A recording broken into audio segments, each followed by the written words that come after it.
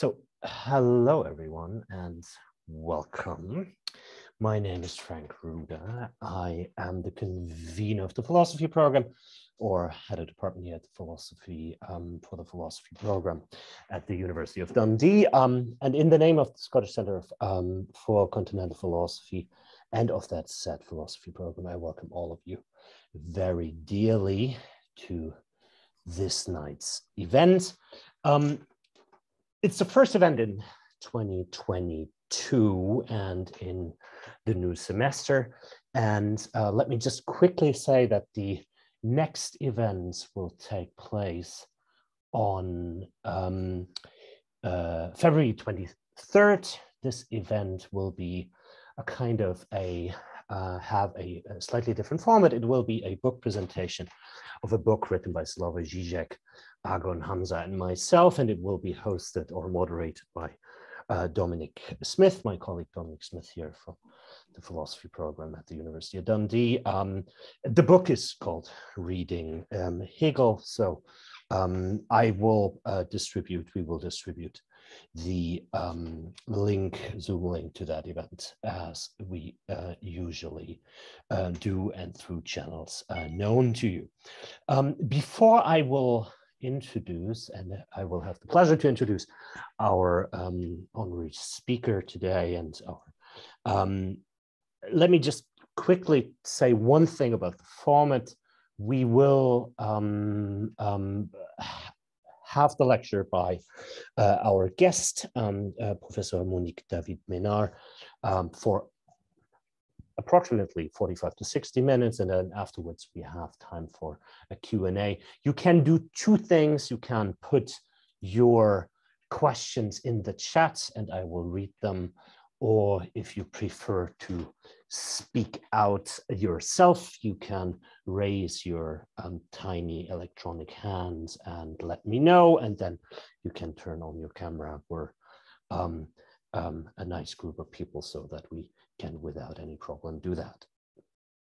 So let me introduce our guest, uh, Professor Monique David-Ménard. She's Emerita of Philosophy, um, um, uh, and she was Professor of Philosophy at uh, Paris Diderot, uh, Paris 7.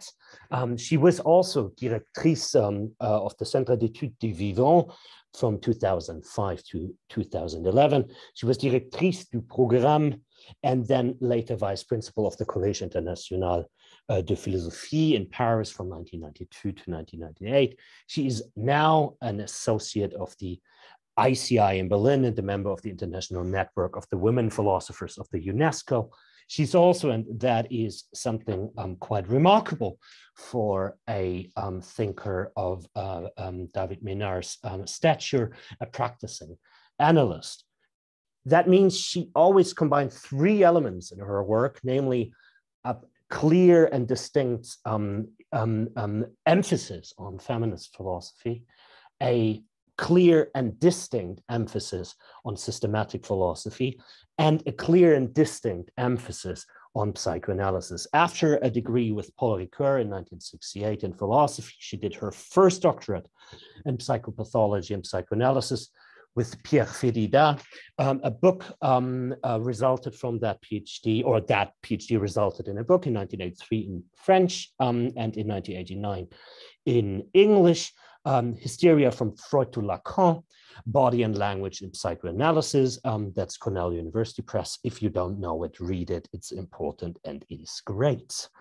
Um, the second doctorate uh, was in philosophy under the directorate of Jean-Marie Beyssade. Um, it was published in 1990 as La folie dans la raison pure, Kant lecteur uh, de Swedenborg, um, so madness in pure reason Kant as reader of Swedenborg, it is equally impressive um, and equally important and equally um, um, um urgent to be read.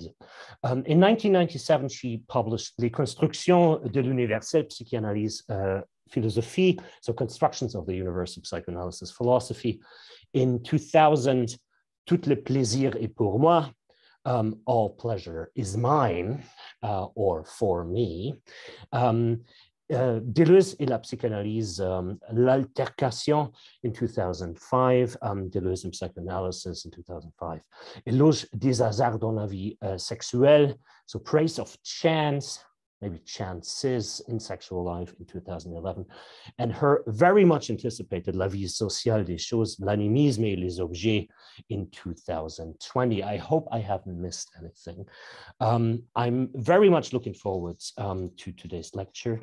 I'm going to shut up. I'm just going to say um, that I'm going to remind you all of the title of uh, uh, um, Monique David-Ménard's intervention. It's Animism of the Owners, Animism of the Poor. How are we today to read Marx's text on property 1842? Please welcome Monique David-Ménard. The floor is yours. Thank you very much, uh, Frank Ruda, for the invitation. We had four years ago a very interesting discussion uh, during many days in Slovenia. And uh, so I am very happy to continue today uh, with you and the participant of this seminar or event. Um, the, I will uh, speak with, with you to, this evening of a text I discovered very uh, late when I was uh, writing the last book, The Social Life of Things, Animals and Objects. Uh, in this book, um, I make something very strange. I mixed uh, reading of Hegel and especially uh, the principle of philosophy of rights, the first part, uh, the property right on property right. I, mean, I compare this and anthropology and psychoanalysis. Anthropology, that is to say, uh, especially the work of Godelier, Maurice Godelier, but also of Marilyn Strathern. Uh, Marilyn Strathern, uh, she is not afraid to compare uh, the animist practices in New Ireland uh, to the right of property in our societies. And I made this with the philosophy of right uh, by Hegel. And in the discussion, we can also uh, see why the psychoanalysis, as usual in my work, is has to do with this problem. Property, property, identity of subject, objet A by Lacan, uh, what is the crisis of identity, who is uh, involved in all the problem we can uh, put on uh, property, inheritance, and so on. But I was fast finished with the writing of uh, this book when I discovered this text of Marx, 1842, uh, on uh, the theft of wood uh, in the assembly of Rhine, Rhineland uh, when the status of property changed. And I was very happy because uh, Marx said exactly what I tried to write since uh, six years in this uh, in this heterogeneous book. Uh, naturally, uh, this text, uh, this Marx's text is very short. There are uh, four or five articles in their uh, uh, in the Rheinische Zeitung, the, the newspaper newspaper Rheinische Zeitung. It's a discussion of the debate in the Assembly uh, of Rhineland, but it has so much, so many directions that it's it's difficult to read the text. Uh, the, the Marxist readers uh, in France, I discovered that that text was read. Uh, I discovered that in the book of uh, Dardot et Laval, The Common. Uh, then all uh, Marxist theorists um, knew now this text uh, on property by Marx. Et c'est sur la révolution au 21e siècle. So I read the text. It was, there is only one uh, translation in French and not, a uh, not as a separate book, but in, in an essay written by two uh, people, Pierre Lascoumes and Hartwig Zander, the book is entitled Marx, du vol de bois à la critique du droit.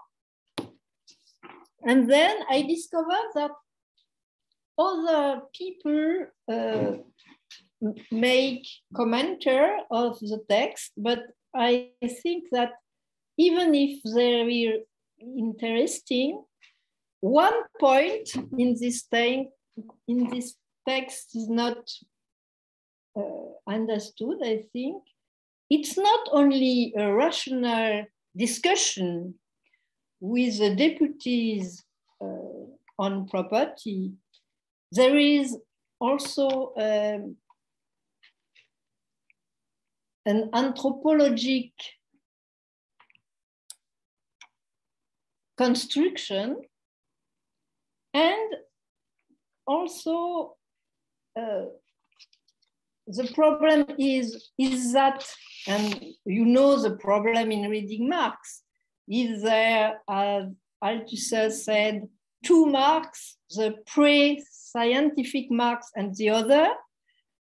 It's true that uh, it's, uh, there is not uh, in that direction that we can read the text because it, but it's not only a fantasy it's more audacious. audacious. It's a, an invention of many direction of thought. So I begin. Why examine the laws of the theft of wood in 1842? What would happen if we discover that Marx himself did not always retreat into the fixed category that are attributed to him, and that his concrete analyses also sometimes offer other direction than those of the critique of the universalists of bourgeois and capitalist law. And that occasionally, for example, he brings an animist component of property into play that is hard to uh, only to fit, to fit only within the critique of the formalism of right. The fact, the facts in question are now known, but the evaluation of their impact remains thorny. In 1842, Marx wrote, wrote several articles on two matters under discussion in the Rhine Province Assembly concerning, uh, on the one hand, the defense of Moselle wine producers, And second, the new regulation of the, I quote, theft of dead wood. In the course of the argument that Marx develops, he invokes a right to poverty in the dead wood that has broken off of trees. Poverty senses, he writes, the community to which these reputedly natural things belong, along with the destitution of the poor. Here, the new destitution of the poor in the 19th uh, century. Here, the question is one of an, I quote, instinctive sense of right. For Marx, this serves as the just justification for not considering the collection of fallen wood as a crime, since this act allows the poor to protect themselves from the severity of winter and indeed to remain alive. Uh, I quote uh, one passage because uh, uh Frank said me that probably you, you, you don't know uh, now the text, not yet. I quote Marx. Nature itself presents without mediation the antithesis between poverty and wealth in the, say, in the shape of the dry, snapped twigs and branches separated from organic life. The, the word presence in German is darstellt dar, Darstellung, and not Vorstellung, representation. Human poverty senses this kinship and deduces its right to property from this feeling of kinship. If therefore, the, in German, deduces, it's not the, the word, uh, uh, I, I remember, it's not so intellectual, the, the, the German word. Human poverty senses this kinship and deduces its right to property from this feeling of kinship. If, therefore, it claims physical organic wealth for the predetermined property owners, it claims physical poverty for need and its fortuity. In this play of elemental forces, Poverty senses a beneficent power more human than human power. Uh, more human, that is, humana, than human power, Marx write, uh, writes mentally. It's not the same word. The fortuitous arbitrary action of privileged individuals is replaced by the fortuitous operation of elemental forces which take away from, from private property what the latter no longer voluntarily foregoes. In this text, in this text by Marx, how can we measure the impact of this immediate impersonal identification of poverty with what has become detached from organic life.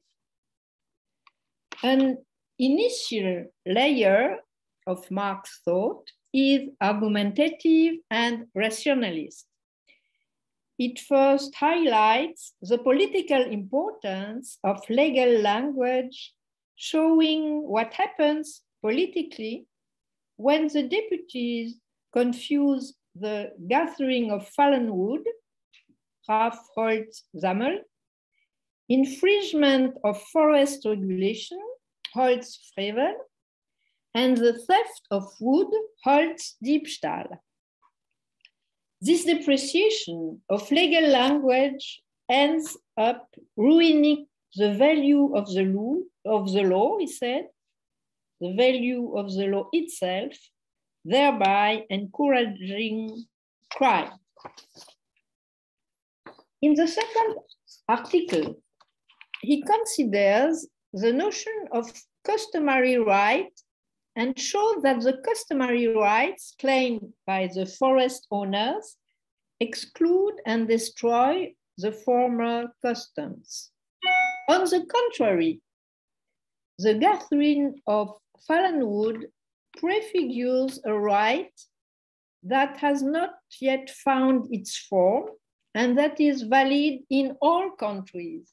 That is to say, it's not the, the customary right uh, from the Middle Age.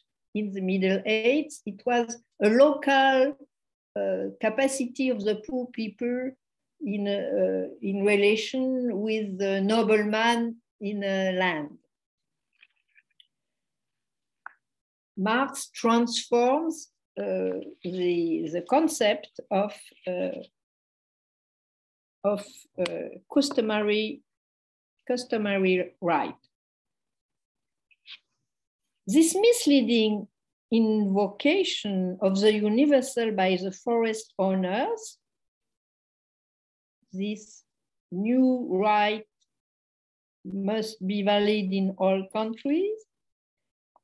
This misleading invocation of the universal by the forest owners finds its initial impetus in the status of the forest wardens. This illusion of legality uh, manifests itself in the exorbitance of the financial sanctions, which Marx will henceforth call surplus value. It's the first uh, use of uh, Mehrwert, surplus value. Not just uh, because there, there are many, many discussions between the deputy the bourgeois and the noblemen are not uh, always uh, in agreement.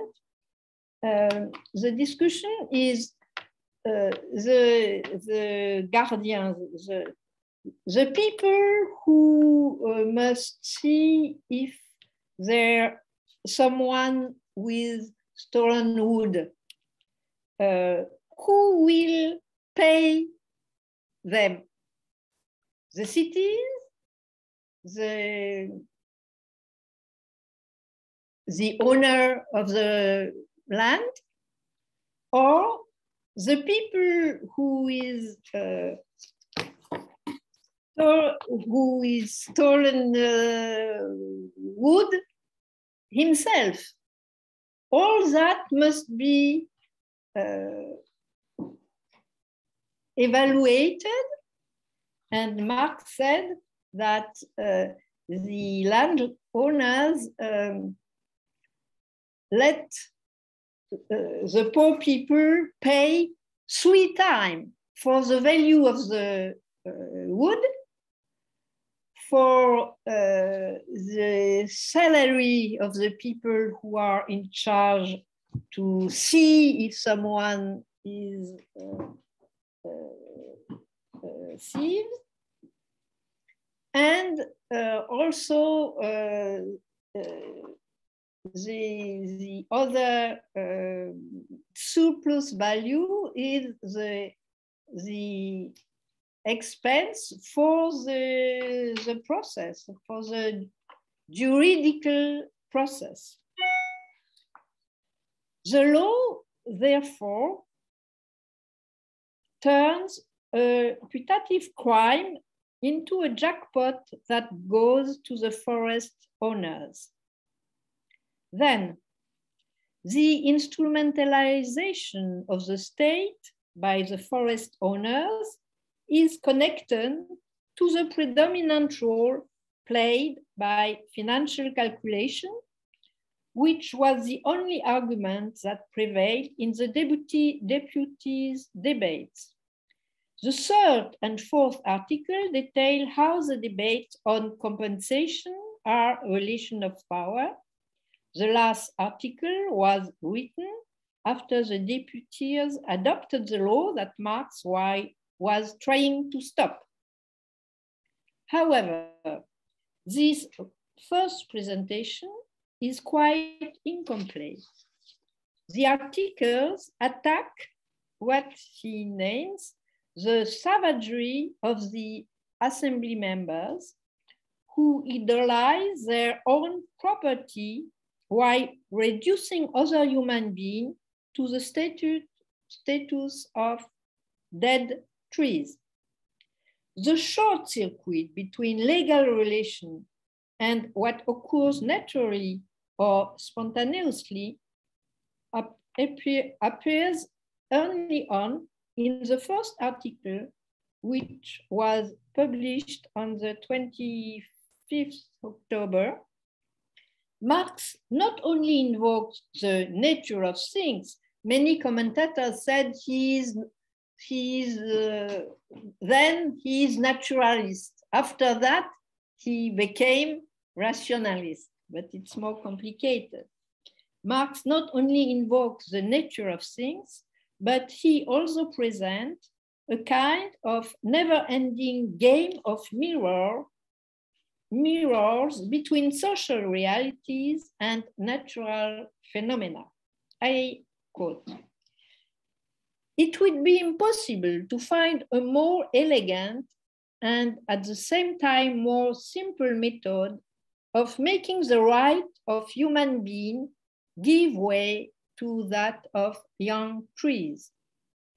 On the one hand, if the deputies adopt the paragraph of the equivalence of the sanction, sanctions for gathering fallen wood and for cutting wood, vivid wood, it is inevitable that many people not of a crim criminal disposition are cut off from the green tree of morality and cast like fallen wood into the hell of crime, infamy, and misery. This is the first, this, we are in now first, it seems to be a comparison. It's not a problematic, it's only a comparison. On the other hand, if the deputies reject the paragraph, there is the possibility that some young trees may be damaged. It, need, it needs hardly be said that the wooden idols triumph and human beings are cut down in sacrifice. This passage is the first when the anthropological concept of sacrifice and idolatry uh, comes uh, in, in, in the text. And it's not, it's not uh, just an allusion because all the text has a double construction rationalist argumentation and development, the, the construction of this mirror between savages and deputies, and also between social relations and nature. And also religion here with the term idols and sacrifice. This game of mirrors applies to the forest owners just as much as to the poor. Poverty, this is very interesting in text. Also, uh, the animist people are not just poverty. Uh, the bourgeois or, or and noblemen do have uh, their uh, own uh, animism. What could be called the animist mood in Marx text becomes clear through the reference to the idolatry of landowners, of landowners who sacrifice, sacrifice human rights to those of young trees. For example, two deputies disagreed with each other. One, a bourgeois, wished to reduce the infraction of collecting dead wood to a mere fine, whereas another, a nobleman, retorted that in his region, the thieves cut living branches of the tree to collect them, which is a crime. This exclusive interest in living or dead wood possessing divine attributes, attributes takes the place of an interest in human being. No naturalist is to be found there. There is, however, a line, or a line of inquiry for an anthropology of religions, which is not reserved for savage. The thematic encompassing living wood and dead wood on the one hand, and on the other, the act of separation. Urteilen mean, means both to separate and to judge in German. Separation that the poor and the forest owners themselves carry out are both connected to a theory of religion and of making idols. The poor who gather dead branches and tie them into bundles join together what nature has already put asunder. The forest owners refuse to let go of that part of their possessions that, had, that has, however, already broken off of them. They associate the vague term theft both with the attack of trees consisting in violently removing branches from the, I quote, organic tree, and with the collection of dead branches that nature has already separated from the tree and that have therefore separated themselves from property as well. This problematic of separation has to do uh, with it's exactly the same concept of judgment and uh, uh, separation, Urteilen, than by Hegel. Hegel said that uh, uh, the, the, the, work of Verstand, of uh, intellect, uh, has to do with separation, and that is uh, also judgment. And here, on that point, Marx comes very close to is very remain very close to Hegel. And what is very important is that uh, expression that uh, something is separated from the living tree. The branches are no more living, but nobody uh, has, has decided for that. So uh, the, the poor people didn't do that and the owner didn't do that. So uh, the problem is, is there an activity in that? What is the, the mirror between nature and society? Uh, the, this uh, mirror has the result to, to, to express the, the question where is the will in the social conflicts? Can we construct a social conflict only with the uh, liberal uh, concept of will? Here, something separates, will be separate from the trees, but nobody decided that. The forest owner, owners are incapable of differentiating between the two, whereas the role of law and judgment is to do just that, to differentiate uh, dead, dead tree and living tree and uh, what is uh, to store and what is not to store.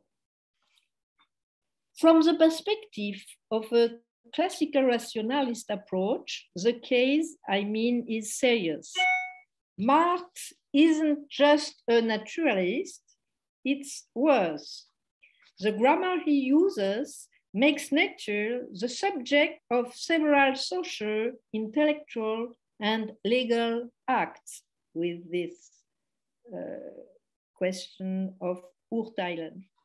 When he points out that the forest owners want to treat the gathering of dead branches as theft and punish it as a crime, he says, as we have seen, I quote again, because the text is a little complicated, it would be impossible to find a more elegant and at the same time more simple method of making the right of human beings give way to that of young trees. And of course, The previous line asserted that in gathering, unlike what happens when living branches are cut off, there is no attack against the trees. The short circuit, and it's not an analogy nor a, neither an analogy nor a metaphor, between the analysis of idolatrous societies and the act of the landowners of the Rhine province assembly occurs is the very, in the very first article through this reference to the idolatry of food by the wealthy people. Finally, the theme of gold interwoven with the theme of making idols is also referenced in the first article. In their fraudulent use of law to the advantage of the wealthy, the learned jurist turn, I quote, every, uh, I quote the translation, but it's a bad translation, uh, the learned jurist turn every sordid claim into the poor gold of right. In the German text, there is uh, two times the word unlauter and lauter.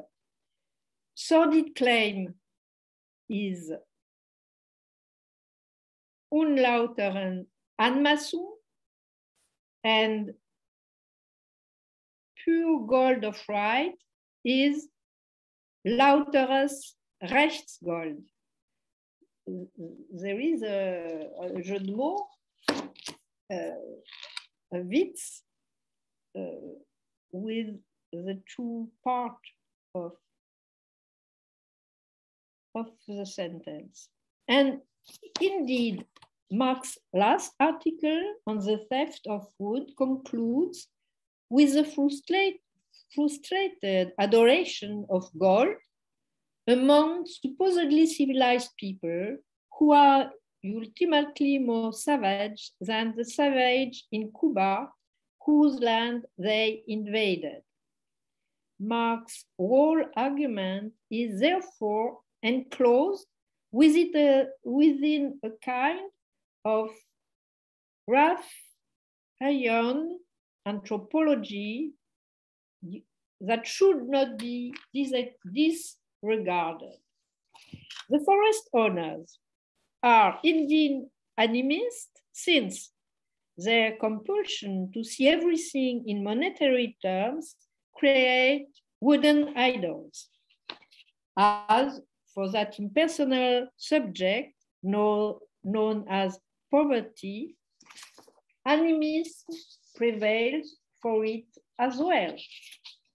When poverty gathers twigs, it carries out a judgment, carries out falsity, realizes a judgment. He makes on the same time a judgment.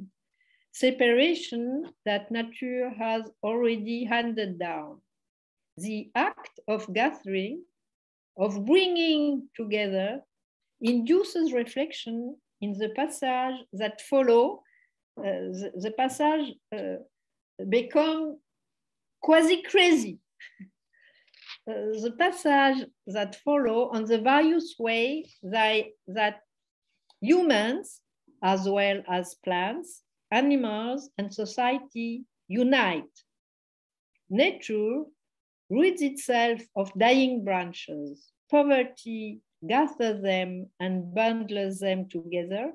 However, the allusion to this initial assemblage leads to a discussion of how societies produce unity among, the, among their members in the face of their differences.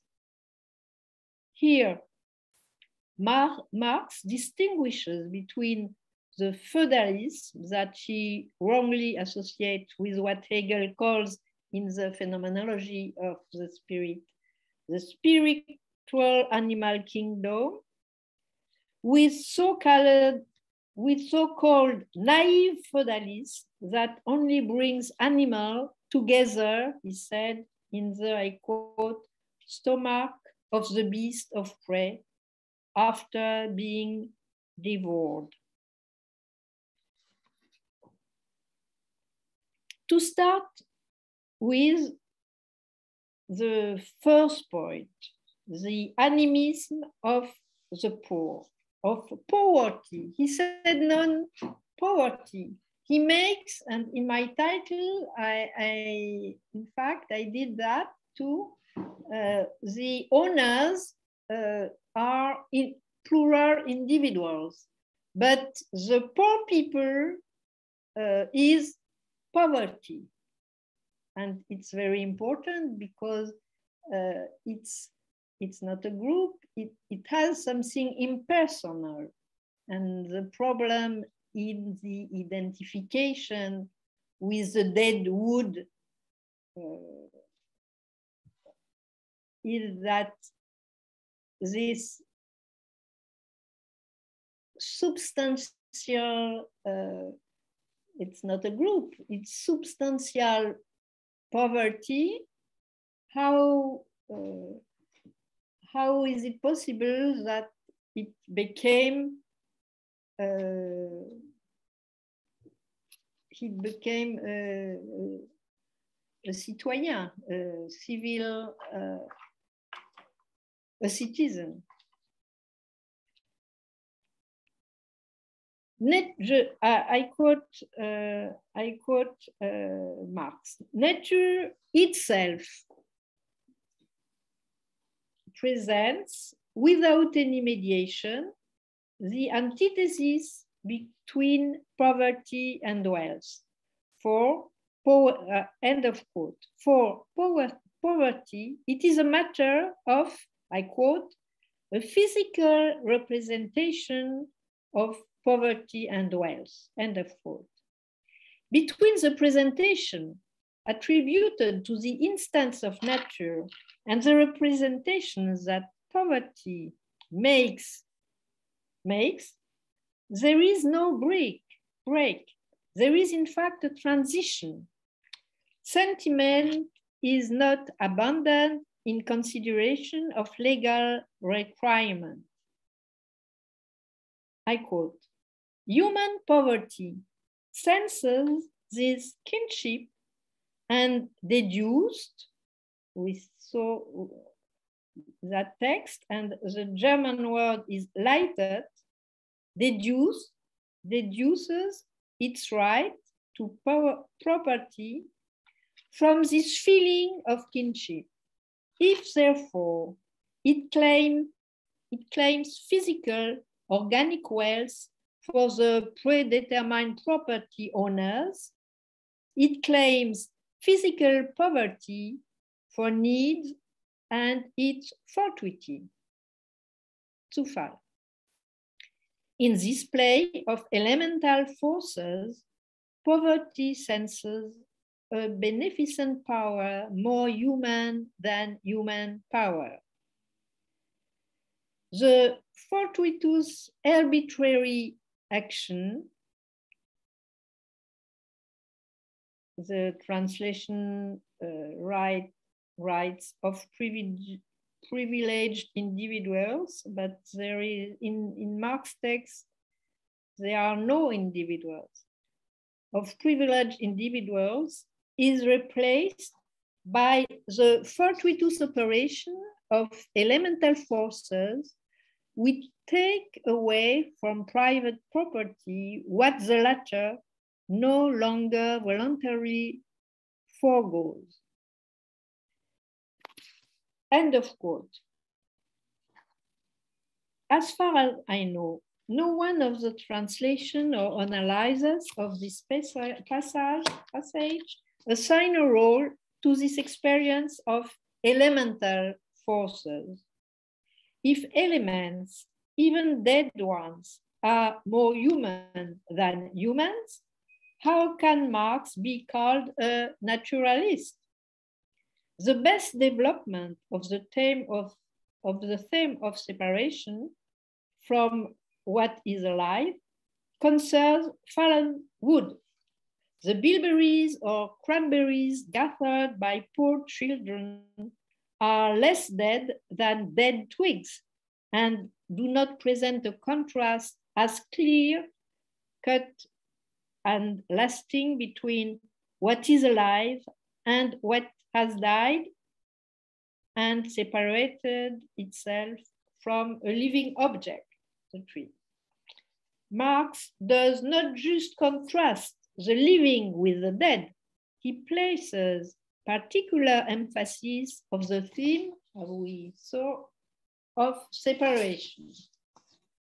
So the forest owners who demand new property rights can no longer, no longer separate themselves from that which has already separated itself from the reality of, the, of what they possess.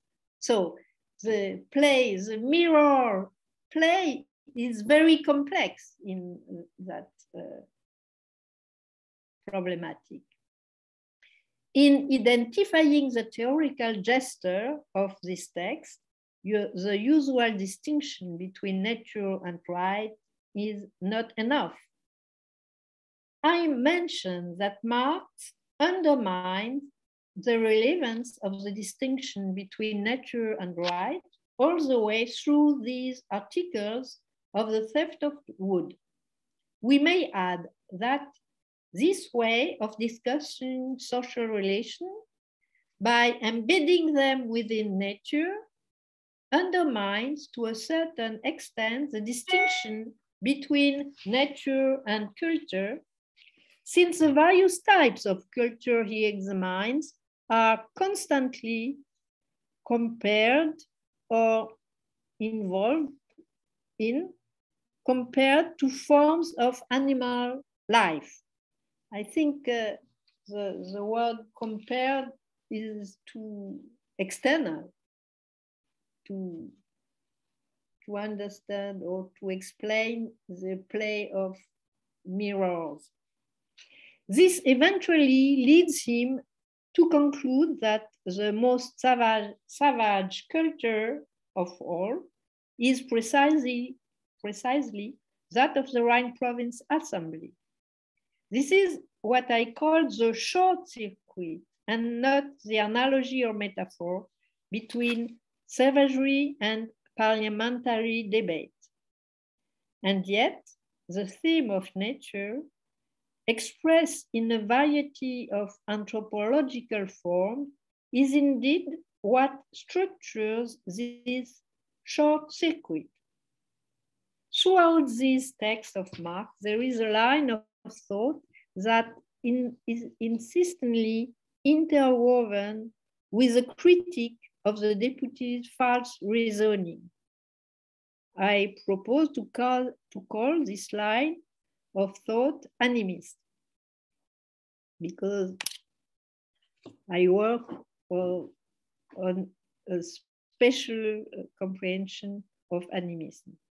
So I will now uh, better uh, explain or develop what Marx uh, calls idolatry in the, that text.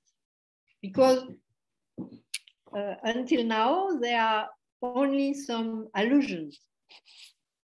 I noted the strange assertion, the one that commentator mentioned most often without making its status any clearer by doing so. This idea that custom and the right, right associated with it take on a completely unprecedented meaning when this concerns a uh, right to poverty in the world that property law put, puts in place. This is, this is not a customary right in the usual sense of the privileges of those who belong to a community or a state, because precisely what poverty senses in the, this mirror of itself that the wings represent is that it does not attain the status of citizenship. We could even say that by way of the tweaks, which we, we, with which it identifies this class deprived of everything comes into contact with itself. I quote again uh, Marx, again, but it's not the, the same text. It will be found that the customs, which are customs of the entire poor class, are based with a sure instinct of the indeterminate aspect of property. It will be found not only that this class feels and drive, the German uh, word is trieb, and drive to satisfy a natural need, but equally that it feels the need to satisfy a rightful drive. Fallen wood provide an example of this. In these customs of the poor class, therefore, there is an instinctive sense of right. Their roads are positive and legitimate, and the form of customary right here conforms all the more to nature because up to know to now, the existence, because up to now, the existence of the poor class itself has been a mere custom of civil society, a custom which has not found an appropriate place in the con conscious organization of the state. When we read these pages, we may see nothing other than the first formulation of we have been note, we shall be all from the International. However, we note that surprisingly, surprisingly,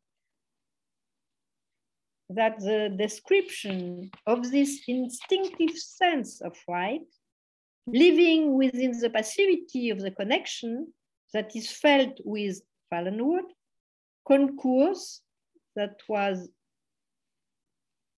the theme of my book, concurs with Freud's description of the immediate identification, which is neither a deduction nor a judgment by which we identify another by being that other ourselves. If you want, we can go again to that problematic.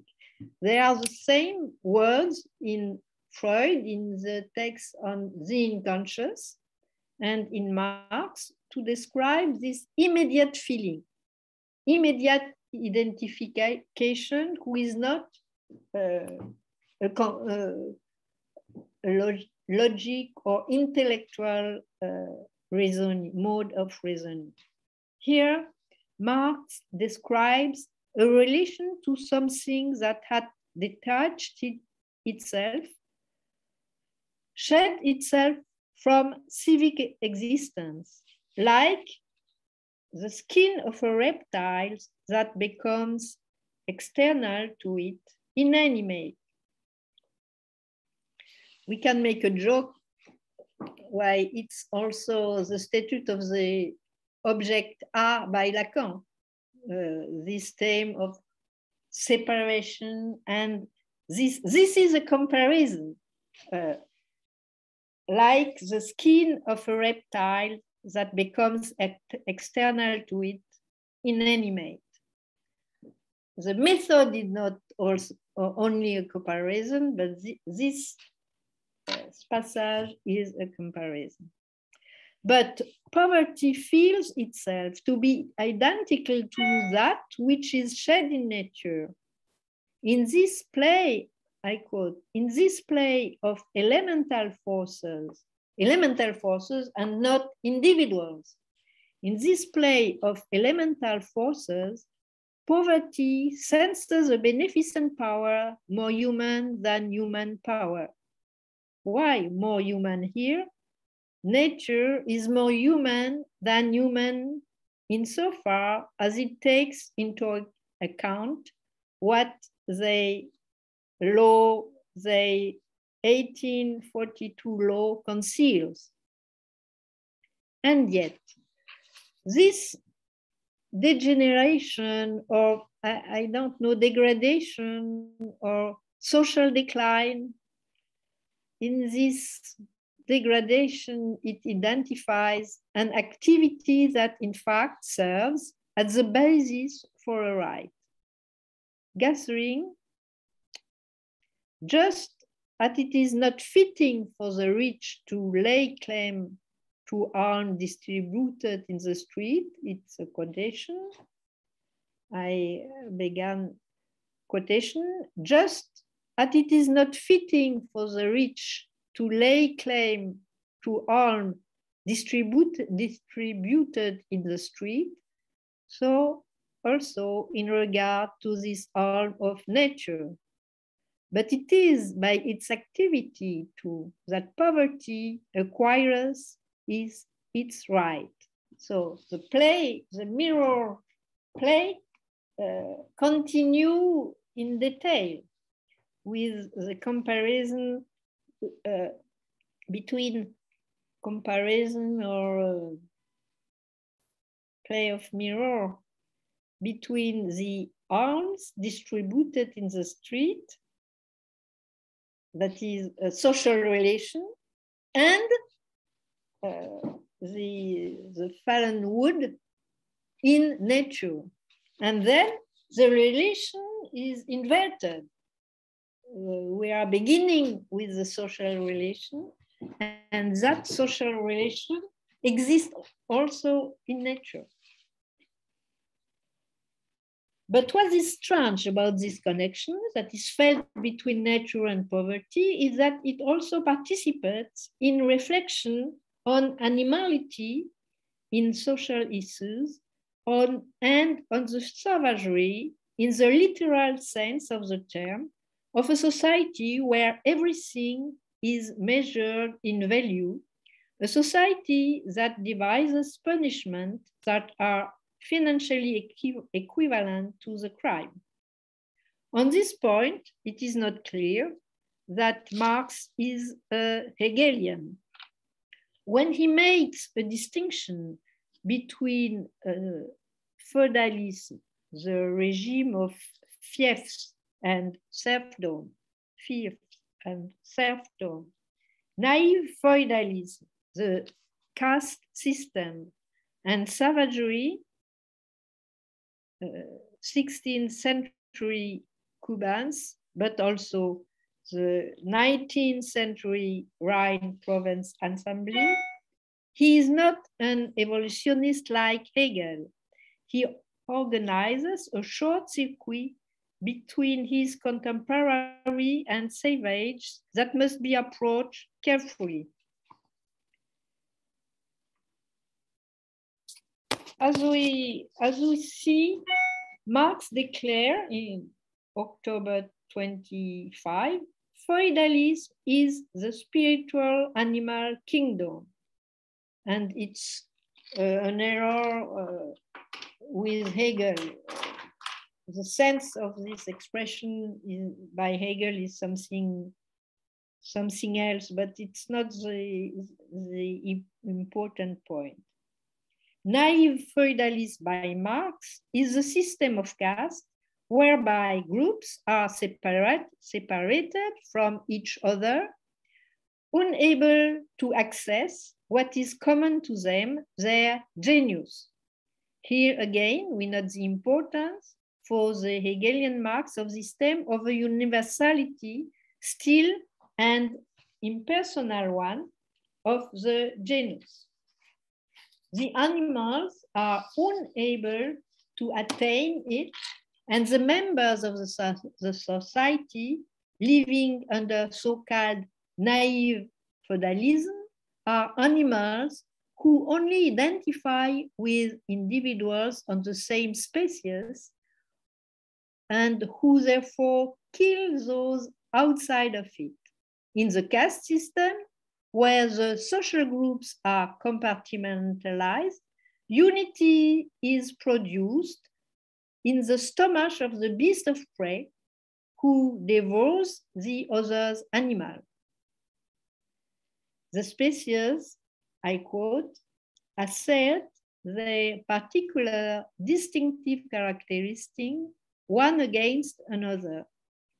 In the stomach of the beast of prey, nature has provided the battlefield of union, the crucible of closest fusion, the organ connecting the various animal species. Similarly, under feudalism, one species feeds at the expense of another.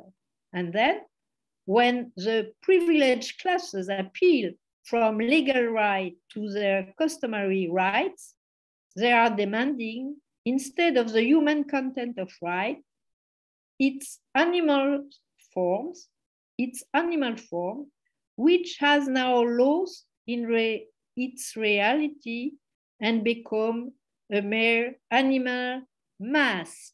End of quote. And then uh, this problematic of the animal mask has to do, Marx said, with the history of religion in ancient Egypt, the god, the god has uh, animal as, as the face of an animal. And the uh, owners, the land owners in, in the 19th century make the an idol with the wood and also the, with the plus value of uh, the punishment. And then they are like animal god in ancient Egypt. It's a little fast, crazy, but in the same time, very interesting. Naturally, uh, we can say that it's the first version of fetishism, naturally. But I think the relation between anthropology and uh, analysis of the commodity is more complex here than in fetishism. And the, uh, especially the relation between religion, animality, nature, and social relations. Here, Marx is neither humanist nor anti-humanist. He projects the human realm back onto the predatory animal world, whereas the forest owner claim to be humanists.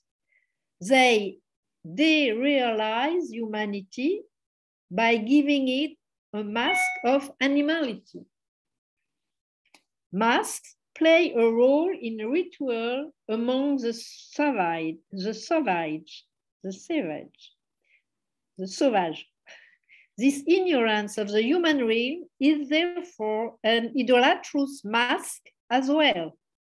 Indeed, men in such a society who simultaneously recognize and misrecognize what they do, worship animality as a good, like in ancient, ancient Egypt, as a god, excuse me.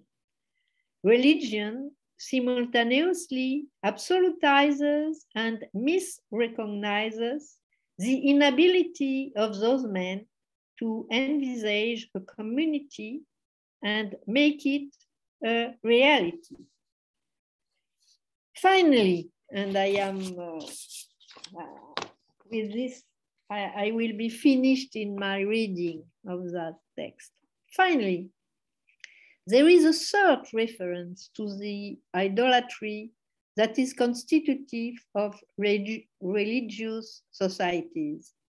It appears in Marx's text after the vote on the law that despite Marx's precise and scathing articles, did in fact define the gathering of fallen wood as theft and establishing the severe penalties that applied. Marx confirms this is an act of savagery, but the Rhineland savages on the 19th century are worse than those of Cuba, for they misrecognize their own fetish wood, in particular when it becomes a commodity. Marx's last article on the matter ends on the very same theme with which his first article began.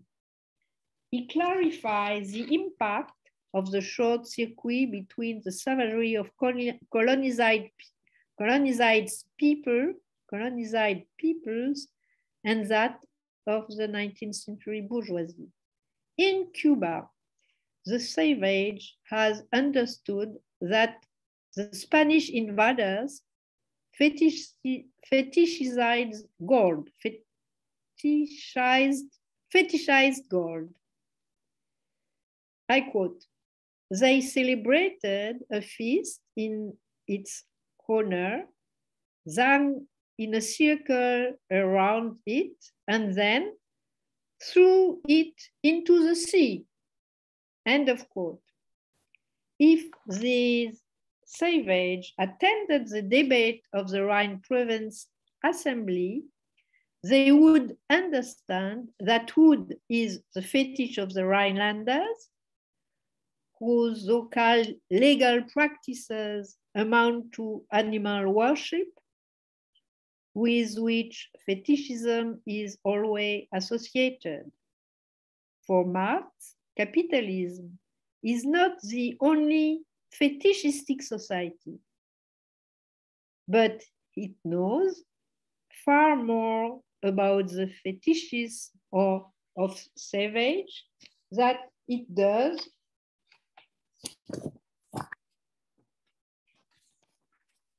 about its own and is consequently all the more ignorant of the social violence that is masked by animal or things, in particular those abstract things known as property and commodities.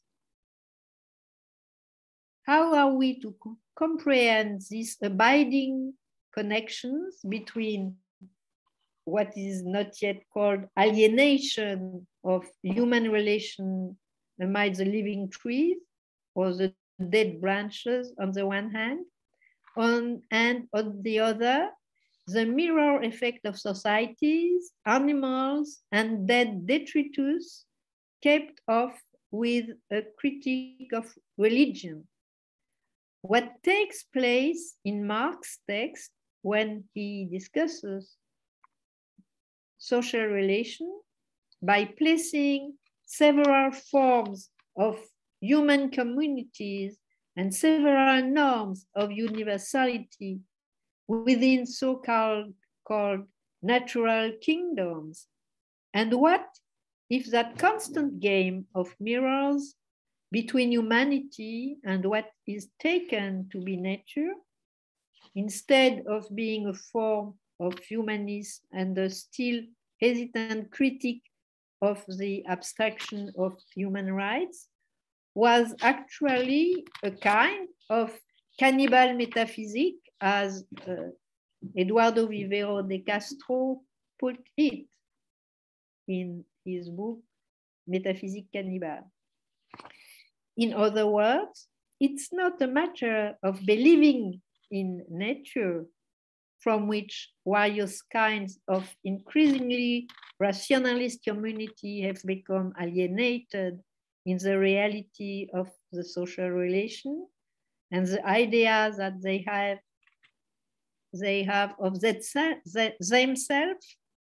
It is instead one of undoing the transcendence of political reason by immersing it simultaneously into animality and into religion as the blind sentiment behind the violence of those relations. Thank you. Thank you very much, Monique, for this absolutely beautiful and stunning and daring and very challenging uh, paper. Um, I think um, we, without any um, detour, we can directly uh, move into um, the discussion. There was, uh, okay, there are already things in the chat. Um, there is a citation um, that Murray left um, for us. Um, do you want to come in, Murray, as long as you're here, or shall I just read it um, as you prefer? Uh, I don't want to force you. Yes, this is the, the quotation. From the Grundrisse. Um, Sometimes yeah. I change the word when there is a contresens. When, when the translation it's too bad, it, it, it's not correct. Uh, when I read the translation, I I uh, I change one word, but uh, in in that uh, in that quotation, no, I read exactly that. Do, do you want to come in, Mary, for that? Sorry. I, am not. Uh, uh, is this the quotation from the Grundrisse that you're looking at there? The, the, uh, I, I, was just about to um, to leave. Uh, yes, I, I was uh, reminded about uh, something from um, the introduction to Marx's Grundrisse. all production is appropriation of nature on the part of an individual within and through a specific form of society. In this sense, it's a tautology to say that property appropriation is a precondition of production. And I was uh, uh, curious to, to know where, um, uh, where, where production um, fitted in with the, the, the animist uh, kind of uh, interpretation. He that makes sense. He he speaks not yet of production. He speak, speaks not yet of proletariat, and uh, so can. Uh, what he seems to be saying here is that that production and property can't can't be separated. Uh, it's a tautology to say that property is a pre precondition of, of production. And, th and that may be a, a later, um, uh, well, it is uh, a bit later from, from Marx, so uh, it, it is. Uh, I think we must not reconstruct the later Marx okay. Uh, in such a. the, the, the point for example, uh, in the, the commentators, for example, uh, Dardot and Laval, mm -hmm. and also uh, Lascoumes and Zander, uh, will say, for example, that the, poverty in that text prefigures proletariat. But and uh, we don't need all this animist atmosphere. But there is one of the commentators, a professor uh, in law, in a law school in Paris, uh, Mikhail Xifaras, who said that uh, in, a, in an article published in um, je vais vous dire.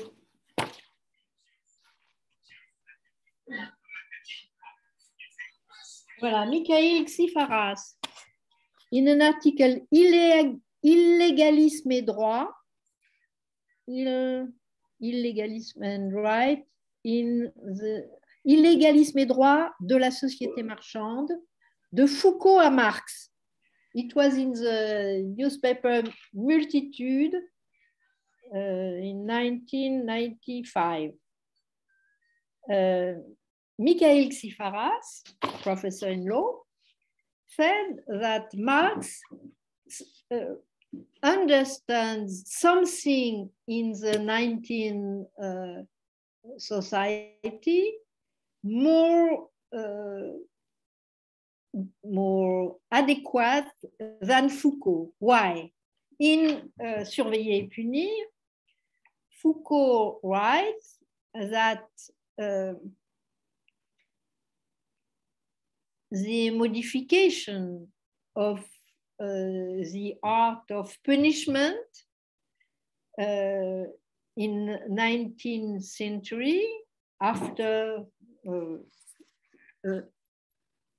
has to do with um, criminal law that is to say that uh,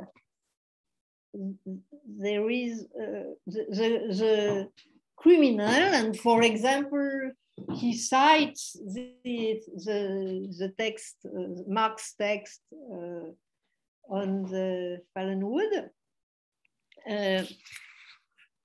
Uh, and Mikhail Xifaras said, no, uh, Foucault didn't understand understand that it's not a question of criminal law, it's a question of uh, civil right. It's the moment, Marx identifies the moment when property, when the new definition of uh, a member of a society is le patrimoine. That is to say, all the belonging of someone is the, the art, how someone became a citizen. And then it creates a new exclusion. That poverty uh, and it's not a question of uh, criminal law, as Foucault said. Uh, in a special location of the society, apparently a small, uh, it's apparently a small point, this affair with uh, the dead wood. But in that point, all the society is changing. And Marx understands that better than Foucault, for example. Uh, and uh, it's not, uh, it's, it's a question of, yes, it, it is the invention of the patrimoine. You are a social uh, existing being only when all your belonging uh, define you. And, and this is the importance of the text. And uh, it's on the rational level. It's uh, not yet this problem of the idolatry uh, uh, and the, the this uh, game of mirror between nature and sociality uh, in the juridical problem Marx identifies a new mode of sociality and it doesn't have say say Xifaras, it doesn't have to do directly with the analysis of production and surplus value. But it's interesting that the word surplus value comes in that apparently uh, not, uh, that uh, problem who apparently is just a detail. Uh, naturally, the capital is not yet there. Okay, but something else is there. And uh, I would say uh, it's like in my reading of Hegel, the problem is not only the relation between the economic organization of capitalism and the, the state, that is to say, in Marx, economy politique, political economy, critique of political economy. That is to say, there is no real independence on the organization of production uh, in and the role of the state. And it was exactly the same in, uh, no, there is no independence uh, between the these two spheres. In civil society, there are situations or problem who can change the sociality itself and not only in relation between state and uh, civil society. We can say that uh, uh, Marx, after that, changed his mind, perhaps, but uh, but but but this relation uh, between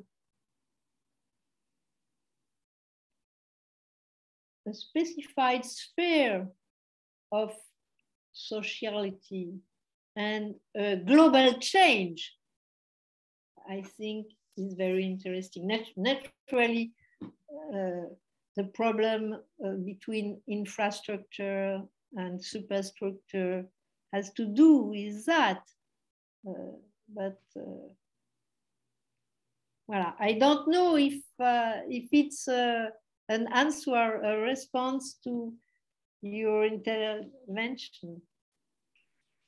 Alors, Frank Ruda, human priority census. Yes, so, uh, um, there's another question by uh, Paris Levitas. Um, just come in, Paris, please. Who who is uh, who is speaking? Yes. Okay. I'm here. Uh, thank you very much for the for the talk today. Um, uh, a lot of very interesting issues, and one issue that I wanted to bring out um, uh, when thinking about this uh, difference between the Latinate uh, uh and uh, Menschliche, the Germanic Menschische, um, that this is very similar to something I remembered from Hegel, uh, his use of Latin uh, root words in particular. I remember this passage from the Herrnich dialectic um, that where he uses person instead of Mensch uh, to designate the uh-huh. uh, to designate the half person. Um, you know, not the full person, the individual who is uh, who will become the the the um, the bondsman, uh, the uh-huh. connect. Um, and uh, I was my first thought was that this uh, elevation of the Latinate version uh, seems to be uh, almost the opposite of a, uh, a run-of-the-mill uh, reading of Hegel, where uh, the Latinate is lesser than the Germanic. That the, in fact, something about this inhuman Latinate stem is actually dignified by Marx. And the way that I put it in the question was uh, where the alienation or the recognition of alienation, um, the speculative identity between the deorganicized excess of the branches and the deorganicized excess of the branch collectors, the poor, um, is taken as a kind of uh, inhumanity constitutive of of the human. Mm-hmm. Um, uh, and of course, this is a, so the, the, first thought is, is this this uh, uh distinction mm-hmm. Marx makes uh, almost seems to elevate the inhuman um, through the Latinate word. And then I, I, brought this further because this has a bit of an ambiguity. And I, I, I brought to, I, I, I thought of uh, this quote from Deleuze and Guattari um, yes, from, yeah, on theft, which is a very interesting point, I think, uh, from uh, L'Anti-Oedipe. Um, euh, c'est le vol qui empêche le don et le contre-don d'entrer dans une relation échangiste. Le désir ignore uh, l'échange. Il ne connaît que le vol et le don. Um, so, uh, the more or less classic uh, Lacanian response to this would be, of course, desire doesn't know anything about exchange, uh, but the drive does. Uh, sorry, uh, uh, uh the drive does precisely because there is a theft involved. Um, the lost object, or even in the, na- the neighbor paradox, um, the the stolen enjoyment, and so it really puts into question whether or not um, especially with all this business about uh, the trieb and the resonance with Freud, and of course Lacan's analysis of uh, the plus-value as uh, plus de jouir, right? um, whether this manages to be actually uh, contrary to a, a, proprietal economy or apparatus, dispositif appareil or whatnot, or if it indeed is the constitutive moment of uh, constituting this. That uh, okay, there's this dignity to the inhuman, uh, but at the same time, this dignity of the inhuman is exactly what uh, the economy is founded on. Uh, mm-hmm. And so uh, that that's that's where I'm going with my thinking. I hope that forms a bit of a question for something for you to. It's not a question, but it's an interesting remark naturally, in reading the, that text, I had always in mind the, the, the chapter in uh, l'Anti-Oedipe called Sauvage, Barbare, Civilisé. Uh, it's uh, this violent uh, and rough anthropology.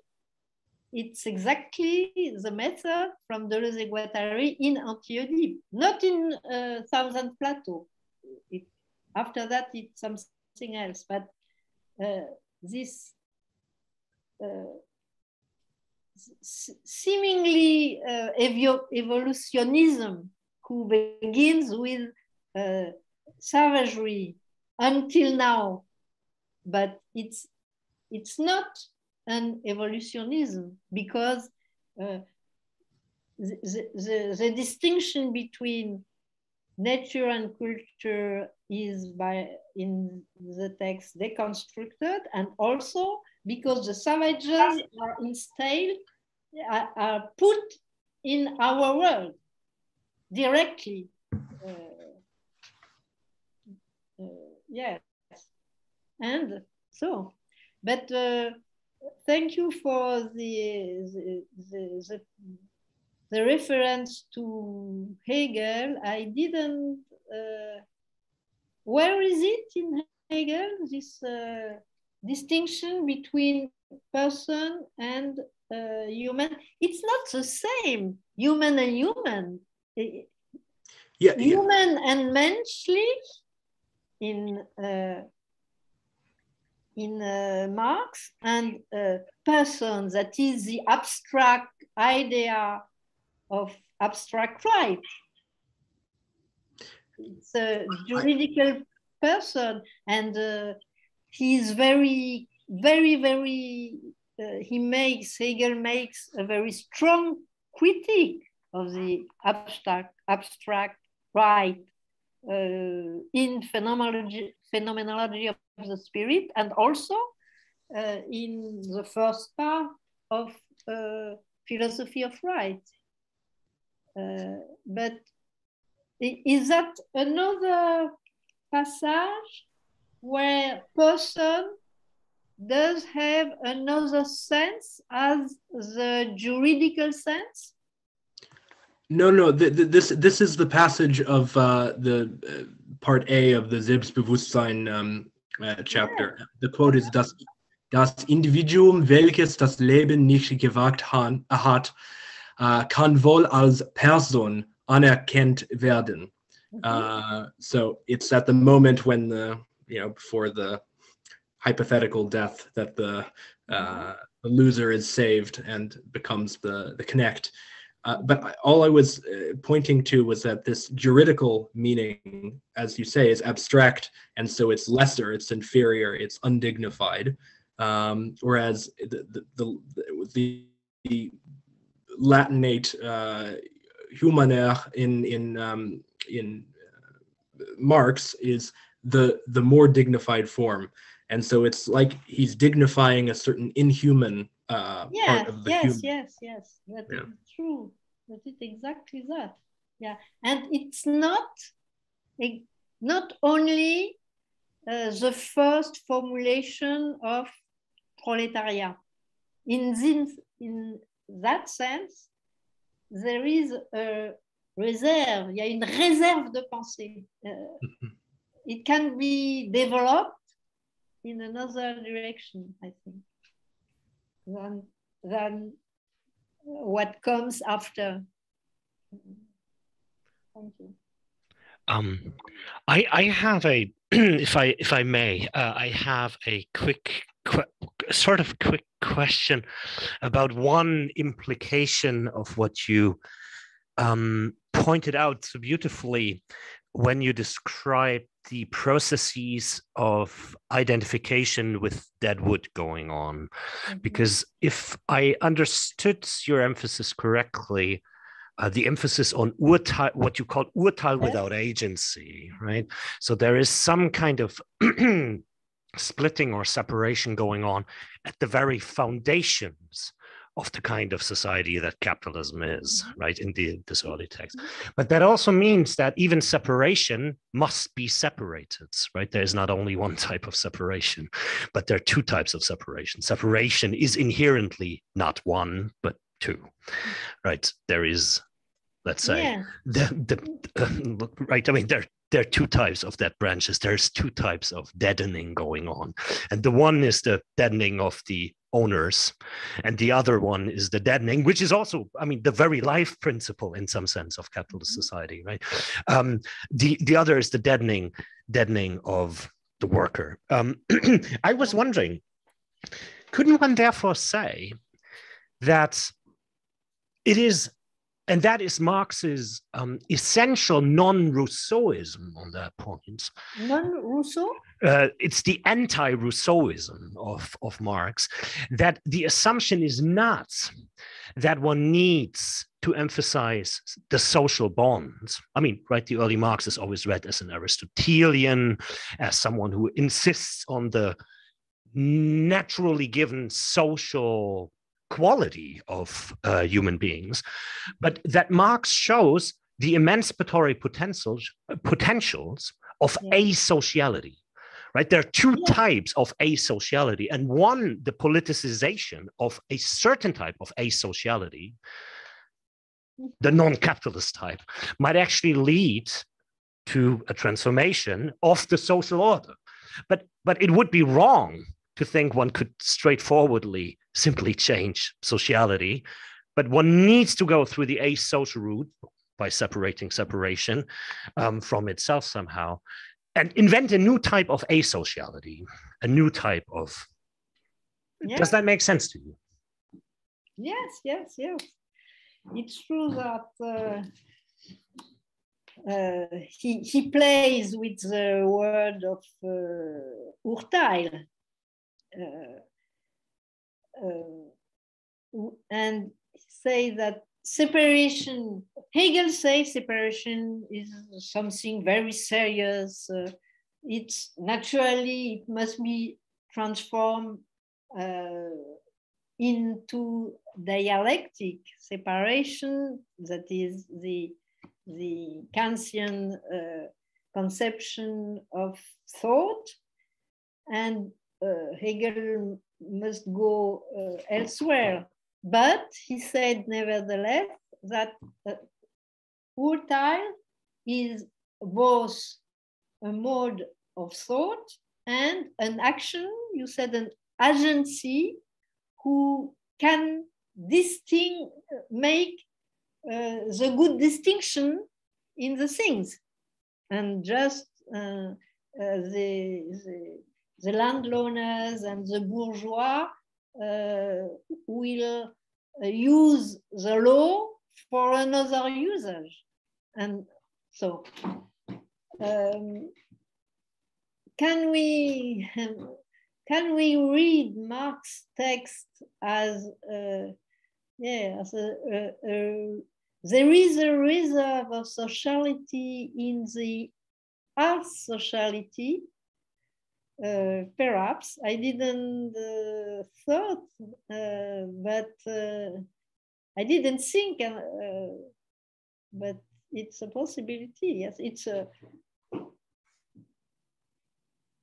If that were the, the, the case, this is why I'm asking. One could separate politics yes. from political action from social interaction right i mean that is that is a distinction that is often lost in let's say social ontology. I mean think of axel honneth he can't make this distinction i i don't have anything against personally against axel honneth but he couldn't make this distinction between because for him social interaction is political or political action is social interaction.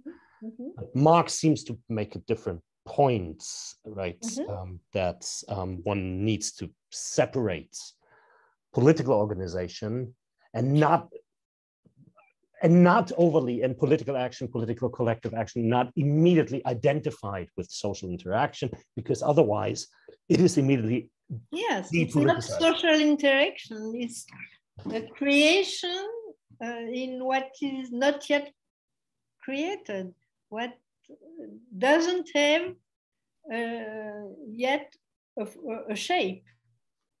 Uh, yes. Yes, it's true.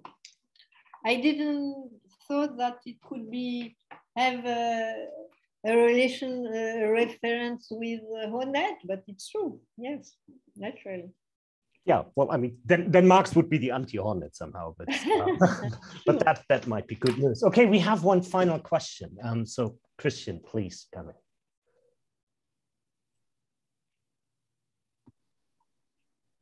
Uh, yeah, hi. Uh, can you can you hear me? yeah. Yes. Um, uh, thank you so much for for that fascinating talk. um, I, I, I, was wondering if I could tap into your knowledge a bit more um, regarding also the topic of uh, dead wood, but from a bit of a, another perspective. Um, so I, I was just wondering because it seems to me that um, it's uh, the exact inverse uh, relation to Locke's idea that appropriating nature grounds property rights in the first place. And, and here you have um, the fact uh, that there is an act of, of, of, the, of the poor people um, to appropriate dead nature as something that exceeds property rights. Um, and and I, I, I really um, noticed uh, in your talk, you, you said something is separated, but nobody decided that. Mm-hmm. So um, it, it, seems that this aspect of, of dead wood and obviously being separate from, from conscious decision. Also, I think you mentioned uh, the, the liberal idea of, of will. So it's, it's, it's something different. And, and um, I, I, in, in, in later Marx in Capital, uh, he, he seems to go exactly that route of, um, uh, of, of, a conscious decision because it, it, there's this definition of labor that is in the first place a process which both man and nature participate and in which man of his own accord starts, regulates, and controls the material reactions between himself and nature. So I, would be really interested to hear what, what you would say to that. Thank you. Yes, yes, it's, it's true that um, um, the problem is uh, that it's true that the later Marx is most uh, give put the emphasis of the mastery of the of nature of the the, the, the, the, production and the alienation of a part of the proletariat and the ideal the ideal is uh, is not to let uh, a a, uh, uh, a, a process without subject to work.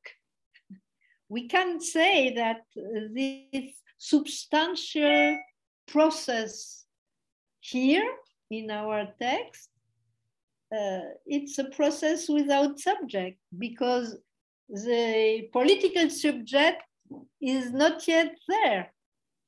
It's not yet the proletariat. It's not active and rational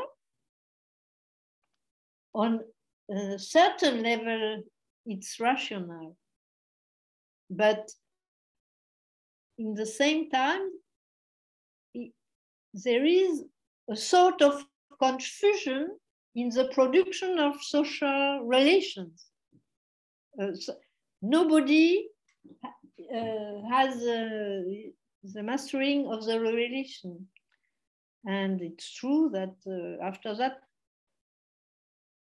perhaps, and my question would be, why it's also the, the, the question but of Althusser, but I don't have the same answer to the question. Why is the text on fetishism? in Capital uh, Volume 1. If in the capitalist, in the, in the book of uh, political economy in capitalism, uh, we don't need, or, or, we need only rationalism mode of, of thought. Why do this uh, repetition of the theme of poverty and uh, money, gold as uh, idol, new idol. Uh, is that is there a line by Marx in mixed with his rationalism, I don't say under his rationalism. I say mixed with his rationalism. Uh, and perhaps in each philosophy, there are these two levels.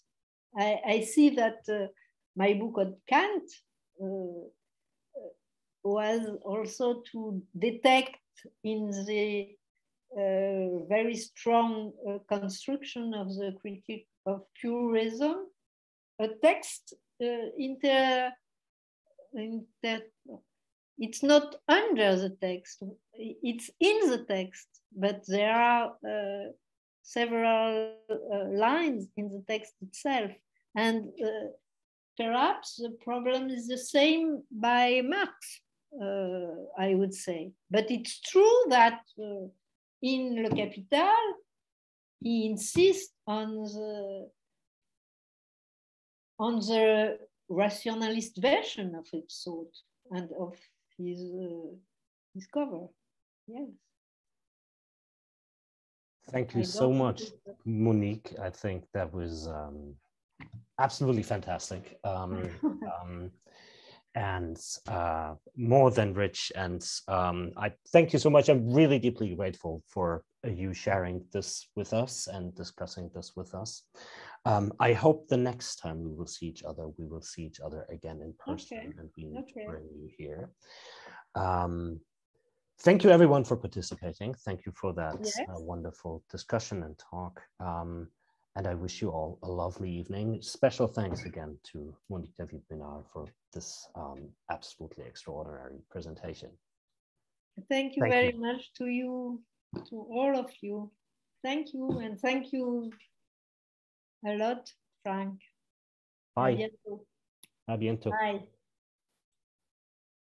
Bye, bye, bye.